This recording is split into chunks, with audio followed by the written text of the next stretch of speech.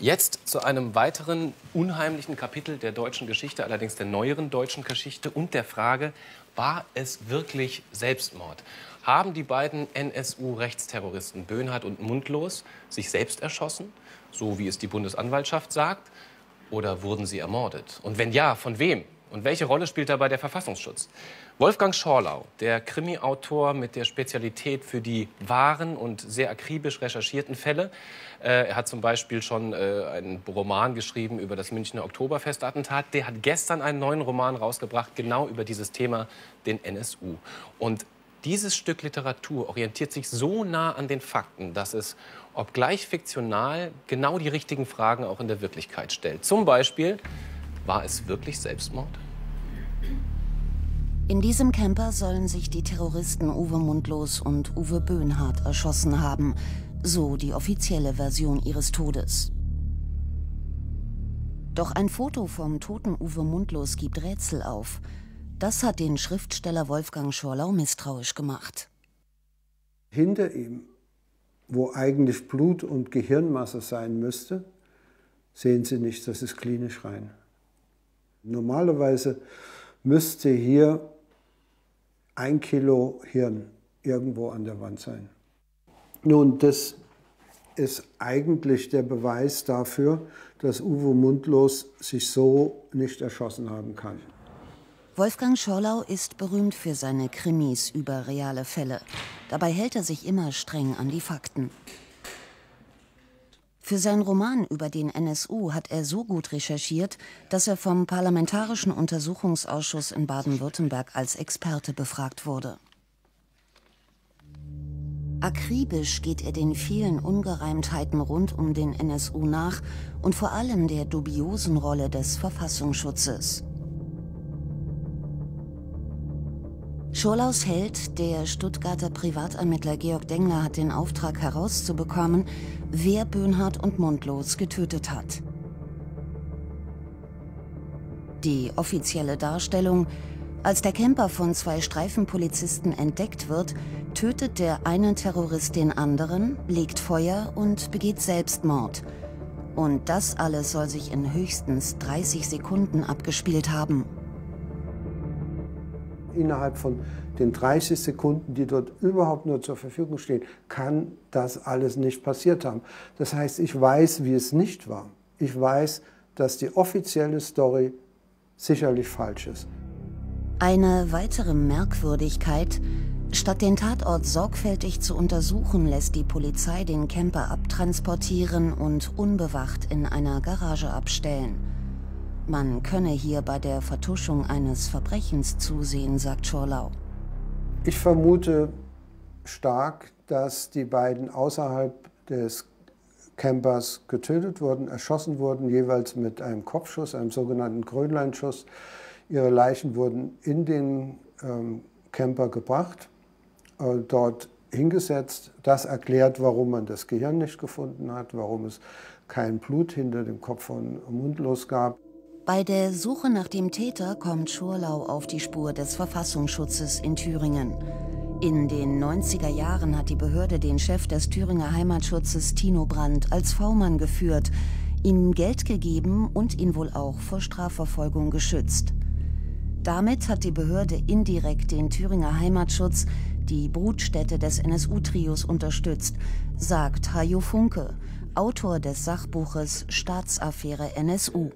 Der Thüringer ähm, äh, Verfassungsschutz hat einen immensen Beitrag dafür geliefert, dass überhaupt äh, diese NSU-Gruppe hat entstehen können. Natürlich, dadurch, dass er systematisch den Thüringer Heimatschutz, die Vororganisation, hat laufen lassen und sich entwickeln lassen. Zum Teil mit dem Geld des Steuerzahlers aus Thüringen. Doch was wussten die Verfassungsschützer, nachdem das NSU-Trio abgetaucht war und mit dem Morden begann? Zehn Menschen tötete. Auch hier häufen sich merkwürdige Vorkommnisse. Während des Mordes in diesem Internetcafé in Kassel war sogar ein Verfassungsschutzbeamter am Tatort und will als einziger Zeuge nichts gesehen und gehört haben. Heute weiß man, der NSU war praktisch von V-Leuten umstellt. Waren die Behörden zu unfähig, um den NSU-Terror vor ihrer Nase zu erkennen? Hajo Funke hält eine andere Hypothese für plausibler. Man hat die Szene beobachtet. Man ist an die Spitzen der Szene gegangen und hatte es gut im Auge. Und man musste ja auch ein bisschen mittun, das ist ja die Logik dieser Verbindungsleute oder V-Leute. Dann passiert der erste Mord. Und nun ist die große Entscheidung, deckt man das Ganze auf und schließt damit ein die Mitschuld der bislang diese V-Leute mit unterstützenden Institutionen oder versucht man es zu verdecken?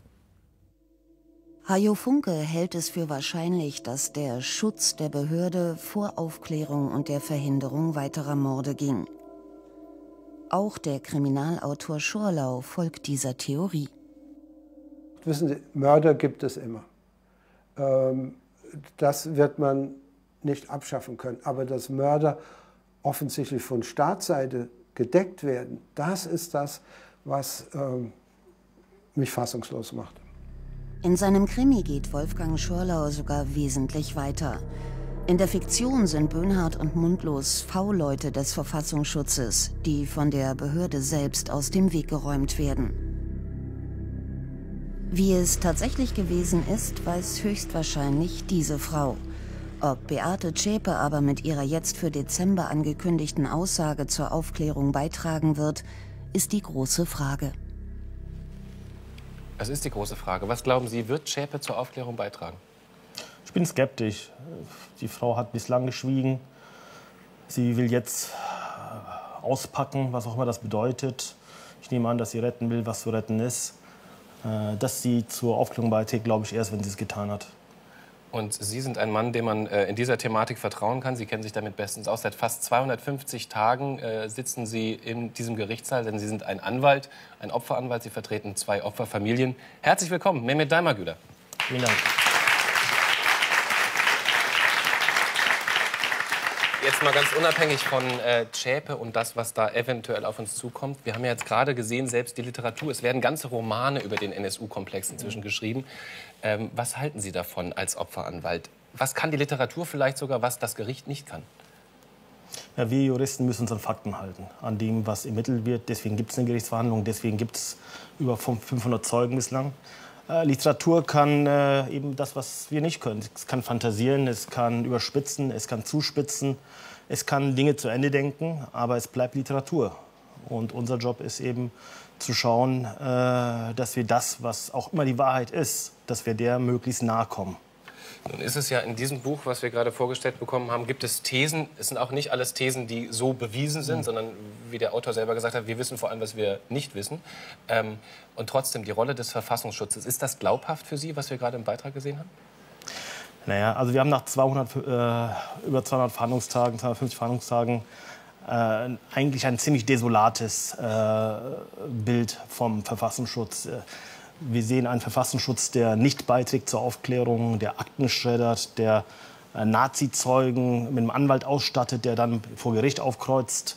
Äh, dieser Verfassungsschutz ist äh, eine Institution, die kein Vertrauen schafft, sondern Vertrauen zerstört. Äh, ich kann mir, kann, kann mir vieles dessen, was wir heute erleben, äh, hätte ich mir vor drei Jahren nicht vorstellen können.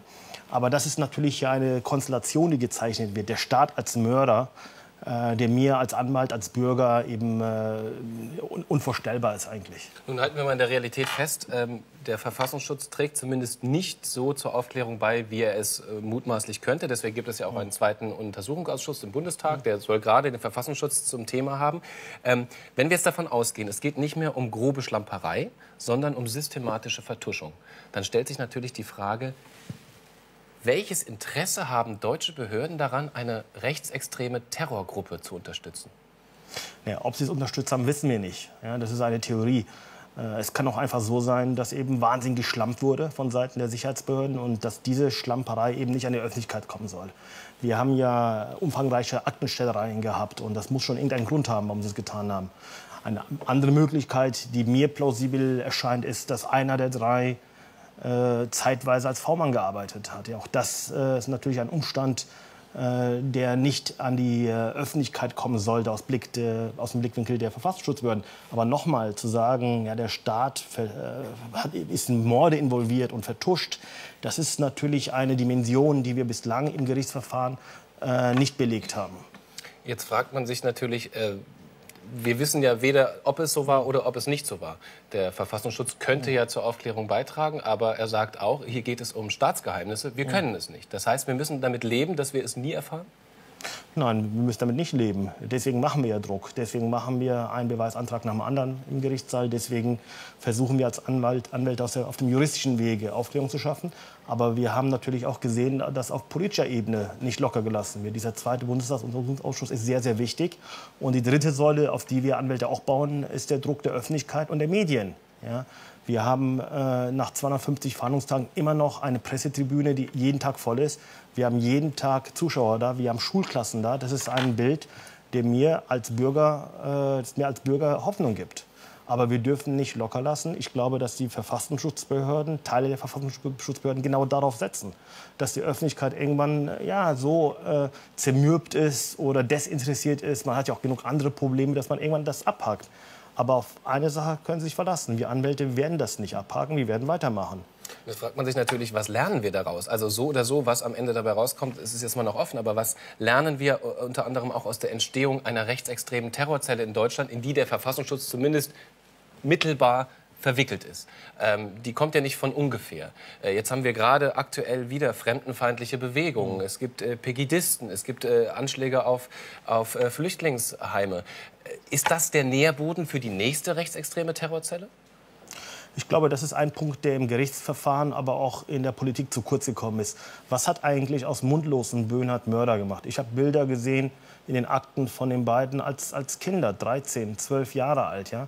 Das waren Jungs, die auf dem Sofa mit der Mutter herumalberten oder auf dem Spielplatz. Das waren keine Mördergesichter, sondern ganz normale, nette, liebe Kindergesichter. Und nur drei, vier, fünf Jahre später, das ist ja gar nichts, fünf Jahre später, sehe ich die gleichen Männer, diesmal kahlgeschoren, Bomberjacken, Springerstiefel, Heil Hitler schreiend. Und was passiert ist in den, letzten, in den Jahren dazwischen, ist die Gesellschaft, wir. Ja, wir hatten damals Ende der 80er, Anfang der 90er Jahre eine hasserfüllte Debatte über Asylbewerber. Und wir haben eine Debatte, die heute ähnlich ist, ja, ähnlich hasserfüllt. Und was ich gelernt habe als Bürger, ist, dass wir A, nach den Ursachen schauen müssen und B, eben nicht schweigen dürfen. Wenn wir schweigen und Dinge geschehen lassen, dann machen wir uns mitschuldig. Und das ist das, was ich gelernt habe. Ich habe damals, als ich aus den Mord, von den Morden in der Zeitung las, schon mit den türkischen Freunden immer gesagt, naja, das waren wahrscheinlich Nazis. Aber wir waren einfach zu feige. Vielleicht auch zu opportunistisch aufzustehen und zu sagen, Moment mal, wir haben ein Rassismusproblem. Wenn wir was gelernt haben aus dem NSU, ist, dass wir nicht mehr schweigen dürfen. Ich hätte gerne zum Abschluss noch eine persönliche Frage gestellt. Sie sind, ähm, Sie haben selber schon gesagt, äh, Integration wurde mir selber immer schwer gemacht. Ich galt immer nur als der Türke mit deutschem Pass, äh, haben Sie mal gesagt. Sie sind äh, jetzt in einem Umfeld, wo Sie eben sehr plausibel erzählt haben, wie schwierig das ist, auch mit fremdenfeindlichen Bewegungen umzugehen. Und Sie stecken bis zum Hals in diesem rechtsextremen Terrorprozess. Warum tun Sie sich das an? Es ist mein Beruf und es ist meine Berufung. Ich glaube, es ist wichtig. Ich glaube, das ist wichtig für uns als Gesellschaft, für unser Land. Aber es ist auch für mich persönlich wichtig, dass ich abends ins Bett gehen kann und sagen kann, ich habe meinen Teil beigetragen. Dieser Prozess wird uns wohl noch einige Jahre begleiten. Sie wird er schon nächste Woche wieder begleiten. Am Donnerstag ist die nächste Verhandlungsrunde. Im Sinne der Aufklärung viel Erfolg. Mehmet Dalmagüler. Vielen Dank.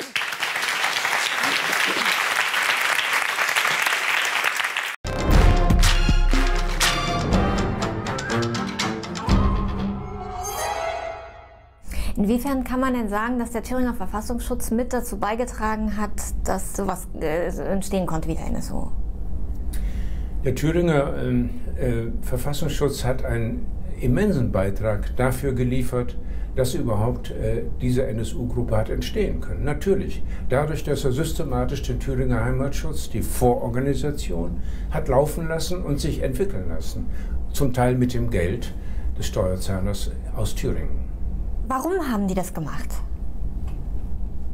Wenn ich das wüsste, warum sie es gemacht haben, dann wäre ich einen Schritt weiter. Das äh, wissen wir noch nicht.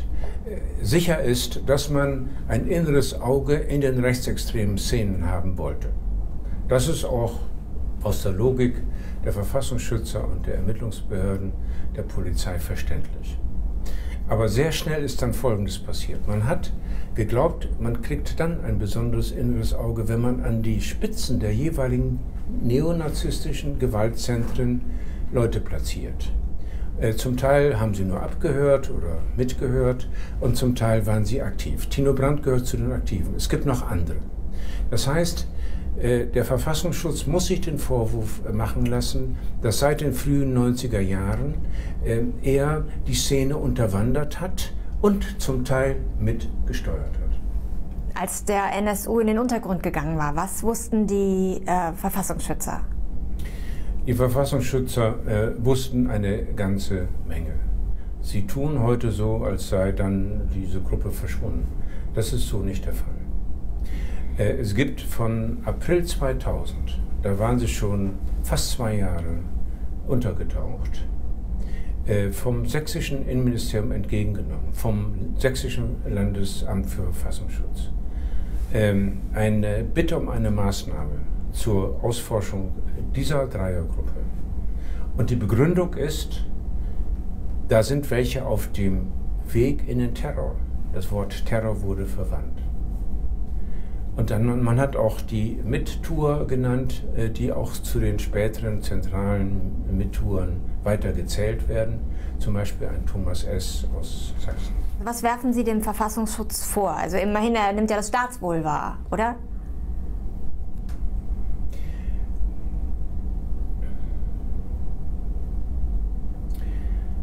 Man hört, äh, das Bundesamt äh, sei ein Dienstleister der Demokratie, übrigens seit Beginn. Das kann man glauben oder auch nicht. Es sei transparent, äh, dafür spricht nichts. Also, was der Verfassungsschutz äh, vorhatte, hat jedenfalls nicht der Sicherheit gedient, sondern er hat ein totales Versagen der Sicherheit mitbefördert. Und zwar in der, in der, in der Aufdeckung der Mordserie zu einem frühen Zeitpunkt, Wäre man anders aufgestellt, hätte man sie früher entdecken können. Äh, und auch in der Verhinderung der Aufklärung dieser Mordserie. Der Verfassungsschutz wusste mehr, als er wissen durfte und hat nicht das Angemessene getan. Das zeigt sich immer wieder. Es gibt eine ganze Kette an Indizien. Der Charakter dieses Verfassungsschutzes ist außerhalb des Rechtsstaats. Er macht, was er will. Er hat sich verselbstständigt. Das zeigt äh, diese Affäre. Es ist deswegen eine Staatsaffäre. Er hat zugelassen, dass V-Leute ihr Unwesen treiben. Er hat zugelassen, dass diese V-Leute sogar geschützt werden, wie Herr Nocken vom äh, Verfassungsschutz Thüringen gesagt hat, geschützt werden als absoluter Quellenschutz. Das ist mehr als sozusagen, ich will wissen, was am Wochenende dann die Rechtsextremen tun. Und Tino Brandt wusste auch mehr. Er wusste auch durch die ganze Zeit äh, des Untergetauchtseins der Mordserie im Grunde über die Bescheid. Dafür sprechen eine ganze Kette von Indizien, auch wenn er das äh, belügt. Aber das ist Teil dieser Verdeckungsarbeit. Wir wissen nicht einmal, wann er wirklich abgeschaltet worden ist. Offiziell ist er 2001 abgeschaltet worden. Das heißt, es gibt ein solches Schattenreich unkontrollierter Tätigkeiten, Zugänge, Interessen, Motivationen, zum Teil nicht einmal zusammengeführt, äh, dass man nur sagen kann, es ist ein Schattenreich, das der Sicherheit nicht dient, sondern das Gegenteil, die Sicherheit gefährdet. Wir brauchen Institutionen, die kontrolliert werden, die rechtsstaatlich von der Legislative und der internen Fachaufsicht kontrolliert werden. Und solange das nicht der Fall ist, und das ist bis heute nicht gesichert, äh, kann man mit einem solchen Verfassungsschutz als im Sinne eines Schutzes der Verfassung nicht umgehen. Muss sich ein Verfassungsschutz sowas anhören, dass, dass, äh, dass sie im Roman da auf einmal auch als Mörder dargestellt werden, auch wenn gesagt wird, dass es uns klar ist, dass es Fiktion ist? Ob Sie das anhören müssen, das steht Ihnen äh, nicht zu, das zu entscheiden. Sie sind damit konfrontiert. Was die Sache anlangt, gehe ich davon aus, dass es sich nicht so zugetragen hat, äh, wie es verkündet wird. Äh, und das ist der Grund, warum der Thüringer Untersuchungsausschuss äh, da weiter dran rührt und zu immer neuen Erkenntnissen kommt. inzwischen gehe ich davon aus, äh, dass das kein doppelter Selbstmord war. Das heißt, dass es äh, vermutlich oder sogar wahrscheinlich andere waren, äh, die mitgeschossen haben oder die die entscheidende Tötung vorgenommen haben. Wer diese anderen sind, wissen wir schlicht noch nicht, jedenfalls nach dem Stand, den wir haben. Äh, und äh, das ist natürlich nicht der Stand derjenigen, die im Umfeld der Wissenden sind. Und es gibt viele, die es wissen müssten. Mein Eindruck ist, angesichts des erneuten Drucks der Öffentlichkeit und der Institutionen, dass das irgendwann, gerade auch weil die Thüringer die besten Ermittler sind, herauskommen wird. Es ist denkbar, dass die Polizei dabei war. Es ist denkbar, dass der Verfassungsschutz dabei war, wie immer in Thüringen, jedenfalls in diesen, äh, in diesen bisherigen 20 äh, Jahren bis 2011. Es können auch konkurrierende Gruppen gewesen sein. Warum weiß der Onkel der ermordeten Kiesewetter alsbald, dass das vielleicht äh, mit, äh, dass der Kiesewettermord mit diesen Rechtsextremen zu tun hat. Äh, weiß die Polizei womöglich auch mehr über die Bedingungen der Tötung dieser beiden, nachdem sie, diese beiden, Kiesewetter auf dem Gewissen haben. Also äh, das ist eine äh, Blackbox, was da in den Thüringern, Thüringer Sicherheitsbehörden gedacht und getan wurde. Es ist nach wie vor eine Blackbox. Nur, wir wissen sicher, dass es so, wie es vorgestellt worden ist, nicht mehr stimmt. Oder nie gestimmt hat, besser gesagt. Ist es denn legitim, solche Spekulationen anzustellen? Oder äh, beziehungsweise was ist denkbar, solange man ja. diese Sachen nicht weiß? Es gibt drei Szenarien. Das eine ist, die Mordserie ist äh, auch entscheidend von Leuten aus den Sicherheitsbehörden, etwa den Verfassungsschützern, ausgetüffelt und begleitet worden. Dafür spricht bislang sehr wenig. Dann gibt es das umgekehrte Szenario, dass äh, man im Grunde, dass das eher zufällig war, ein, eine Kumulation von Missgeschick aller Behörden. Dafür spricht inzwischen auch immer weniger, nachdem die Behörden selbst nichts Entscheidendes zur Aufklärung beigetragen haben sowohl in der Zeit der Mordserie als auch äh, danach, mit gewissen Ausnahmen. Aber insbesondere keine Aufklärung durch die Verfassungsschützer erfolgt ist, weil sie sich das verbeten haben. Sie haben sogar es geschafft, obwohl man einen extra Sonderermittler eingerichtet hat, äh, die Geschichte des Corelli, des eines der zentralen äh, V-Männer des Bundesamts für Verfassungsschutz, nicht an die Öffentlichkeit bringen zu lassen. Es gibt einen 300-seitigen Bericht und was wir sehen, sind 28 oder 29 Seiten und man hat zwei, drei Leute herausgenommen, die man öffentlich die Montag, äh, ich stelle es hier Montag, der Sonderermittler öffentlich darstellen darf. Das ist absurd. Die haben 270 Seiten rausgestrichen. Wo haben wir denn sowas, nachdem zunächst, zunächst gesagt wurde zugesichert worden ist, man darf diesen Bericht bis auf wenige Streichungen veröffentlichen und zu Gesicht bekommen. Nein, da ist es ein Machtkampf gegen die Wahrheit. Der, das Bundesamt selbst hat eine äh, Anzeige gegen eine Teilveröffentlichung durch irgendeine Zeitung in Deutschland äh, eingebracht. Da sehen Sie, wie man verdecken will und wie systematisch man verdeckt. Und Sie haben gesagt, es gibt drei Möglichkeiten. Sie haben jetzt zwei genannt. Was ist denn die dritte Möglichkeit? Die dritte, für die es eben eine Reihe von Indizien gibt, weswegen man auch von diesem Szenario im Denken über äh, das, was wirklich geschehen ist, äh, ausgehen können muss, ist, man hat die Szene beobachtet. Man ist an die Spitzen der Szene gegangen und hatte es gut im Auge. Und man musste ja auch ein bisschen mittun, das ist ja die Logik dieser Verbindungsleute oder V-Leute. Dann passiert der erste Mord. Und nun ist die große Entscheidung, deckt man das Ganze auf und schließt damit ein die Mitschuld der bislang diese V-Leute mit unterstützenden Institutionen oder versucht man es zu verdecken? Und möglichst einzudämmen. Zu sagen, da läuft was außer Kontrolle, wir tun alles, was wir können, um das einzudämmen, ohne dass wir aufklären. Und mein Eindruck ist, dass in dieser Richtung sich eine Verselbstständigung zu, äh, ergeben hat, die der Sicherung der Institutionen vor der Aufdeckung geschuldet ist. Und dann haben sie das Problem, dass diese Gruppe ihnen außer Kontrolle gerät und mit ihnen die entsprechenden Verbindungsleute und mit ihnen Teile des Verfassungsschutzes. Ohne dass es sicher ist, dass die leitenden Institutionen das wussten. Aber um das aufzudecken, wofür es immer mehr Indizien gibt, ohne das schon sicher zu wissen, brauchen sie eine systematische Aufklärung des eigenen Verhaltens der, der jeweiligen Institution, besonders des Bundesamts. Und was nicht verantwortlich ist, ist, dass das Bundesamt schweigt. Was erhoffen Sie sich denn von Zschäpe? Beate Zschäpe hm, hat erkennbar die Taktik, dass sie so davon kommt. Einmal hat sie geglaubt, es geht durch Schweigen. Dann hat sie geglaubt, es geht durch, äh, durch Auflösen äh, dieses Prozesses, indem sie äh, das Vertrauen als zerstört interpretiert und beim nächsten dann auch und, und, und. Und das Dritte, noch bisher weniger wahrscheinliche ist, dass sie umfassend aussagt. Wenn sie nur Teil aussagt, haben wir das Problem, dass sie was verschweigt.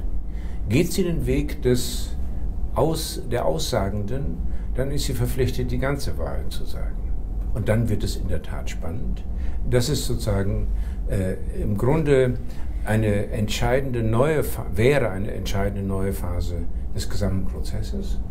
Denn dann würde man darauf sich konzentrieren, was sie alles noch wusste. Und mit wem sie womöglich mit dem sächsischen Innenministerium äh, öfter verbunden war.